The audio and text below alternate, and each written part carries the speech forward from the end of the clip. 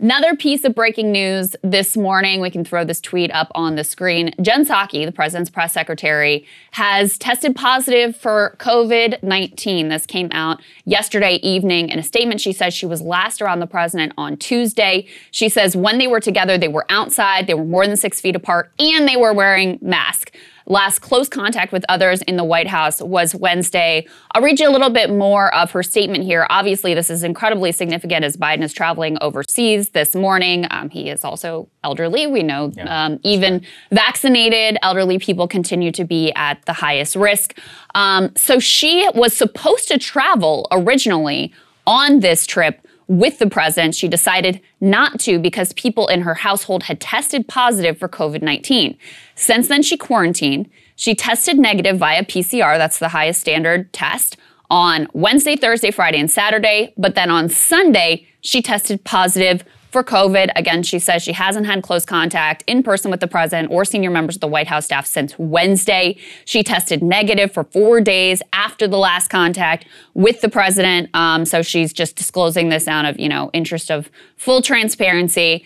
You know, there's not a lot of commentary around this. Mostly we just wanted to let you know what was going on because obviously this is yeah, someone who has regular close contact with the president doesn't seem to have been in a you know in a, a, situation where it was likely that covid would transmit. Over the past week but still an incredibly significant development she says she's had of course they're all vaccinated mm-hmm. um, and she says she's experiencing just mild symptoms thanks to the fact that she is in fact va- vaccinated there were definitely a lot of eyebrows raised here in washington i heard some rumors because uh, she announced that she wasn't going on the family trip because of a family emergency and it turns out the family emergency was covid now she had contact with the president about five days ago. So at this point, it's just a wait and see period. But of course, Biden himself, I mean, meeting with the Pope, all sorts of world leaders. yeah. If he got COVID abroad, oh, I mean, I don't even know. If you thought the Trump thing was a show, like, ha- imagine him having to get on Air Force One in a bubble. Like, that would be an entire thing. So we're gonna keep an eye on that. Um, he's an old man. Look, I hope, you know, I really hope he doesn't get COVID. Uh, he has had a booster shot, as far as I remember. Yes, I think that's right. Famous, you know, set shot or whatever of all of that. So just keeping you guys updated. It could be could become one of the biggest stories in the world, obviously, but we'll keep an eye on it. Yeah, so most likely it will all go fine. Jen yeah. Psaki will recover. We certainly wish her a speedy recovery. Um, the president, because he's had minimal contact, likely to be fine as well. But significant development we wanted to bring to you this morning to keep our eye on. Okay, that's so right. That's that. First up, um, the Virginia governor's race pitting Terry McAuliffe versus Glenn Youngkin is going on tomorrow. And um, there are a lot of developments here. Effectively, I just want to say from the top even if Terry McAuliffe pulls this thing off in a squeaker, this is already complete, utter disaster for Democrats. That's yes. this is a state Joe Biden won by 10 points and Ralph Northam won by nine points, and that Republicans have not won a statewide race in since 2009. okay? This is really bad, with the situation for Democrats right now. So they got caught, um, some of their allies in the Lincoln Project got caught pulling the one of the most disgraceful, boneheaded stunts I have ever seen in all of politics. Let's start with those details. Um, throw this tweet up on the screen. Okay, so there were some dudes and one lady in uh, those khaki and white button-down shirt getups carrying tiki torches, mm. a la Charlottesville, very fine people, that showed up at a Glenn Youngkin event and apparently were chanting, all in for Glenn. A couple reporters picked it up, and suddenly all sorts of Democratic operatives, including Terry McAuliffe, social media manager, yes. and MSNBC personalities and everything, were tweeting this like they were all aghast that, oh my goodness, these people and Glenn Youngkin, they're so terrible. Well, it turns out that was all a stunt perpetrated, eventually admitted to by, by the, Lincoln, Lincoln Project. Project. Only after, though, they got caught. I mean, I think that's a really key piece is because they're trying to spin this, the Lincoln Project mm-hmm. people, like, oh, this was just a planned demonstration to, you know, illustrate how strongly we feel about how terrible Glenn Youngkin is. The reality is they wanted people to believe that these were genuine Youngkin supporters. And it was only after the fact when it was revealed, I think the, the woman that was involved in particular got um, sort of caught as they figured out who she was and her affiliation with a bunch of Democratic Party political candidates and the Democratic Party writ large. That was how eventually it all came out. So that was a less than impressive moment. The Washington Post wrote it up here as well. We can throw that tear sheet up on the screen. Lincoln Project organized a group to carry torches at Youngkin event in Charlottesville. And so after the fact, Lincoln Project put out a statement. They said, Today's demonstration was our way of reminding Virginians what happened in Charlottesville four years ago. The Republican Party's embrace of those values and Glenn Youngkin's failure to condemn it. We will continue to hold Youngkin accountable if he will denounce Trump's assertion that the Charlottesville rioters possessed very fine qualities. We'll withdraw the tiki torches until then. We'll be back. So, again, what really happened here is they thought they could get away with this and that people would think they would yes. be all aghast that, oh, this is the sort of people that Youngkin brings out, and they still are proud of those horrific moments in Charlottesville.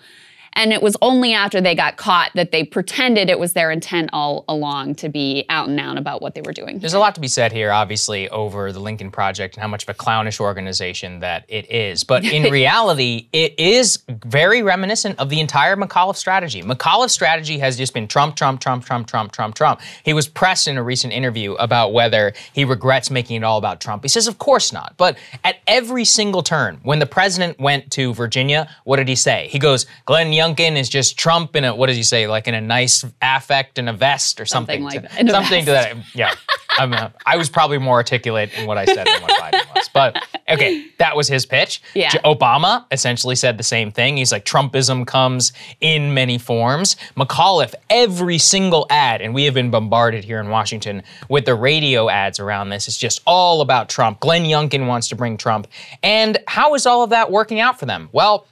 Lincoln Project and McAuliffe efforts aside, and we are going to be talking a lot about this in the show, the level of discontent with Biden and the national mood of the country cannot be overstated. Go ahead and put this Fox News poll up on the screen. Now, look, it is a Fox News poll and it is an outlier, but it shows there that Youngkin pulls ahead of McAuliffe among Virginia likely voters. Now, the likely voter screen there is very important because what they say is that Terry McAuliffe is at 45% and Glenn Youngkin at 53.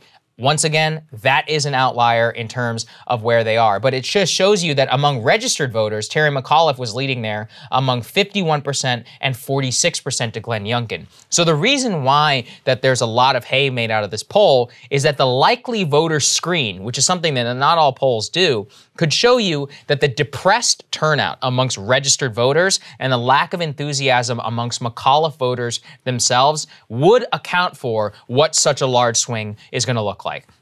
Look, it's not going to be an eight point rate. I mean, I, I would venture to say if it is, then oh my God, you know, if you're Joe Biden, well, it's uh, it, it ain't going to be there. it's already bad. Though. Ain't going to be pretty there, my yeah. friend. But look, it's also not without precedent, and I think we should describe that, which is that Bob McDonnell had some you know 25 point swing from Obama's 5% to the 17% win that he had back in 2009. The Virginia governor's race very rarely actually sticks with the party in power in terms of the governorship. But, you know, both of us were really were of the opinion that Trump and the culture war did kind of harden and change anything. And if if Glenn Youngkin does win, it does mean that there is a real return to at least some cross partisan voting. And that's a really bad sign for Democrats because, Krystal, what did you point to throughout the entire election? If you make it all about these white suburbanites, number one, they're fickle. Mm. And number two, their policy priorities not exactly jiving with the rest of the entire Democratic base. Yes, yeah. very true. You um, building a coalition around white suburban liberals is a recipe for having really mm-hmm. crappy politics ultimately and you know that's what virginia's had i mean under ralph northam with democrats in full control of everything continues to be the worst state in the country for workers and i just think you have to look at this and we've been saying from the beginning that the enthusiasm gap was a huge deal because you know whether you have some, I think you do have some pool of voters that voted for Biden and maybe even voted for Hillary Clinton and are going to turn around and vote for Glenn Youngkin. That's also a very sort of suburban right. liberal thing to do. They love to, you know, signal that, oh, they're really open, they're bipartisan, et cetera. Mm-hmm. But I think the bigger story is the fact that Democrats haven't given people any reason to bother to go vote for them. I mean, Trump is not on the ballot here, okay? Glenn Youngkin is on the ballot. So if you want to make a case against someone, you got to make the case against Glenn Youngkin. And even better, maybe make the case for what you would do if you got elected. The fact of the matter is, you've got at the state level, Democrats are running a, you know, 90s retread from the mm-hmm. Clinton era, who's already been governor once, who was like people didn't hate him when he was governor, but it also wasn't, you know, some spectacular situation either. So hard to get excitement about that. Hard to get excitement about an agenda that, if he has one, he never talks about, um, which has just been all about, you know, how do I tie Glenn Youngkin to Trump in every single ad in every single way. And then you layer on top of that, you look at what the Democrats in Washington are doing. And, you know, we quoted that dude last week who was like, I've been a Democrat my whole life and I don't know why I keep bothering voting for these people. Yes. When you promise voters basic reforms that are popular and that are obvious over and over and over again, and then when you have the power to deliver, you don't do it, yeah, your voters are gonna say, I don't really care about voting for you anymore. It's not worth my time and my emotional investment because that's what it really is. I mean, the time part is significant, especially if you're a working person. You got to take time off and figure it out, and the kids, and all that stuff. That that is no small obstacle. But even putting that aside, there's an emotional investment involved in believing Absolutely. that a politician is actually going to be worth showing up for and actually going to deliver for you. And Democrats repeatedly, not just right now in this moment, although it's incredibly manifest in this moment, but over and over and over again have told their voters that, you know what, we're going to promise you a bunch of stuff that we actually have no intention of ultimately delivering. So don't be shocked when you go to tell them to vote for it and they're like, nah, I got other things on my agenda. Thank you very much.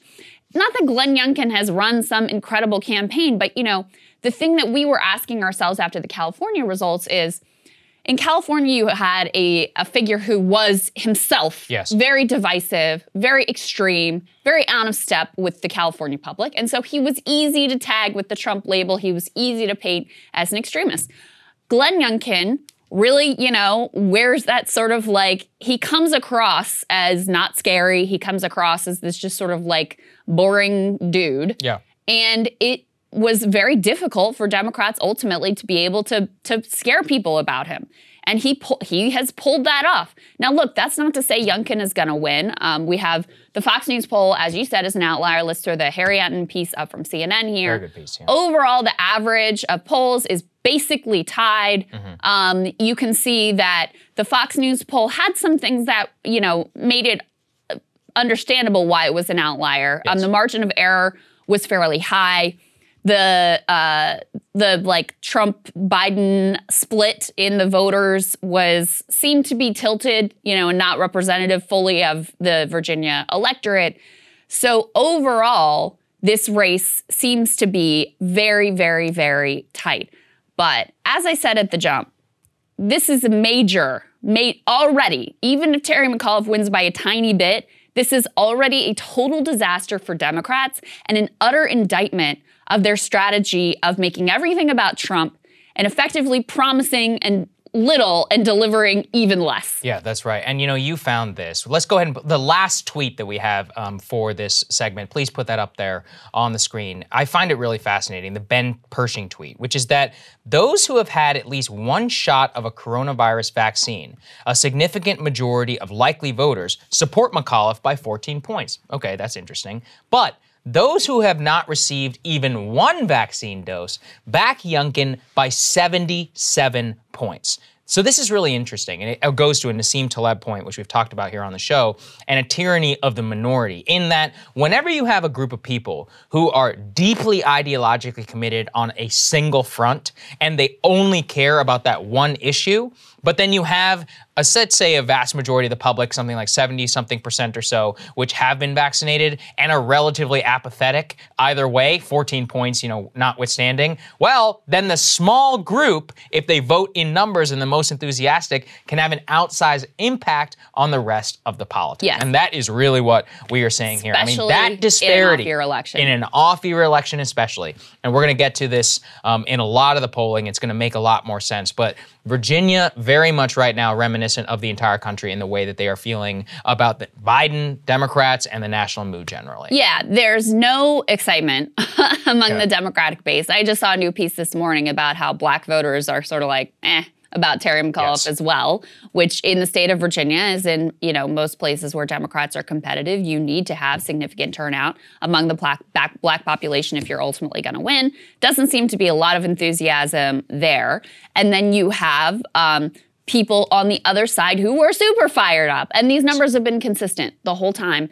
We sort of wondered because this is what you saw in mm-hmm. California. Democratic enthusiasm in California really lagged. And then when it came down to like the week before, suddenly people got fired up, they got engaged, they showed up to vote. And in that instance, Gavin Newsom actually dramatically outperformed even the best polls for him that same shift doesn't seem to be happening here. Um, I can tell you, someone has lived in lives in Virginia. Just you know, anecdotally, not a lot of Terry McAuliffe signs, signs around. Tons of Glenn Youngkin signs lot, around. yeah. Again, operatives will always- always tell you signs don't vote. Don't read too much into that. But there is not a lot of like groundswell of enthusiasm for Terry McAuliffe. It's showing up at his um, events as well. Youngkin all weekend was going to rallies with a thousand plus people, even in places in Northern Virginia that you know are pretty blue. He's he's got people who are excited for him, and McAuliffe was going to a bunch of different small, sparsely attended events. So look. I'm not predicting this is going to go either way. I genuinely think it is extremely tight and extremely close and will come right down to the wire. It should not be that way in the state of Virginia today.